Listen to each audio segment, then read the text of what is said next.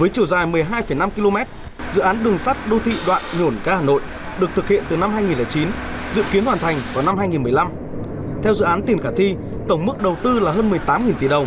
Sau đó đến năm 2013 thì điều chỉnh lên gần 33.000 tỷ đồng. Thủ tướng Phạm Minh Chính cùng Bí thư Thành ủy Hà Nội Đinh Tiến Dũng đã đến kiểm tra công trình thi công nhà ga S9, hạ tầng nhà ga S8, hạ tầng trung tâm điều hành và kiểm tra tàu điện vận hành đoạn trên cao. Thủ tướng nhấn mạnh, Chính phủ, Thủ tướng Chính phủ các thời kỳ rất quan tâm tới dự án này. Tuy nhiên, hiện nay vẫn còn những khó khăn vướng mắc mà nếu không có giải pháp quyết liệt, kịp thời, hiệu quả thì dự án sẽ kéo dài nhiều năm nữa. Sau khi thị sát, Thủ tướng đã chủ trì cuộc họp với lãnh đạo thành phố Hà Nội, các bộ ngành, chủ đầu tư, nhà thầu, nhà tư vấn để tìm phương án xử lý.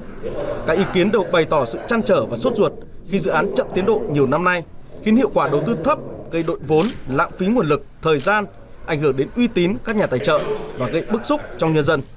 Thủ tướng đã chỉ rõ những nguyên nhân và trách nhiệm chính khiến dự án chậm tiến độ.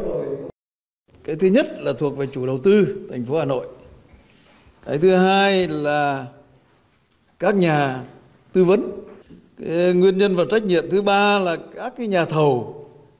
Mà đây thì tôi cũng nói rồi, báo cáo với các ông chí là cứ chia nát các gói thầu ra. Phải làm việc một lúc với 10 nhà thầu và 10 cái thủ tục hành chính thì nó kéo dài và nó sẽ phức tạp. Và cái thứ tư là cái sự phối hợp giữa các bộ ngành với lại Hà Nội cũng chưa được chặt chẽ, cũng chưa được hiệu quả lắm trong quá trình chúng ta tổ chức triển khai cái dự án này.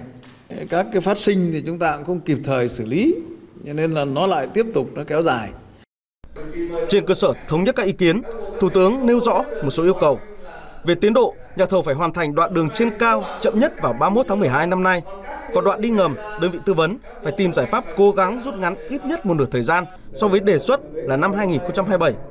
Về điều chỉnh tổng mức đầu tư, Thủ tướng nhấn mạnh theo hướng không vay thêm vốn ODA mà xem xét sử dụng ngân sách nhà nước một cách khoa học, hợp lý, hiệu quả, đúng quy trình quy định. Về vướng mắc giữa quy định của Việt Nam và của nước ngoài, yêu cầu ra soát để đề xuất các cơ quan có thẩm quyền điều chỉnh cho phù hợp. Đồng thời, ra soát xem còn những vướng mắc gì liên quan đến thủ tục thì nhanh chóng hoàn thiện và tăng cường kiểm tra giám sát, nghiệm thu theo quy định.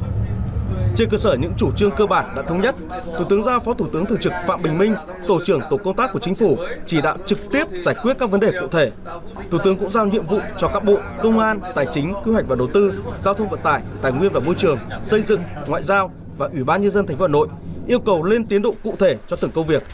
Văn phòng Chính phủ thường xuyên đôn đốc theo dõi, tham mưu các vấn đề liên quan cho Phó Thủ tướng Phạm Bình Minh.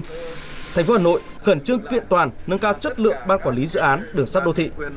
Trên cơ sở kinh nghiệm xử lý dự án Cát Linh Hà Đông vừa qua, Thủ tướng yêu cầu các bộ ngành phối hợp chặt chẽ có hiệu quả với Hà Nội, giải quyết dứt điểm các vướng mắc trong dự án này, tránh đùn đẩy trách nhiệm và từ đó rút kinh nghiệm để chuẩn bị cho các tuyến đường mới đồng bộ tiếp theo.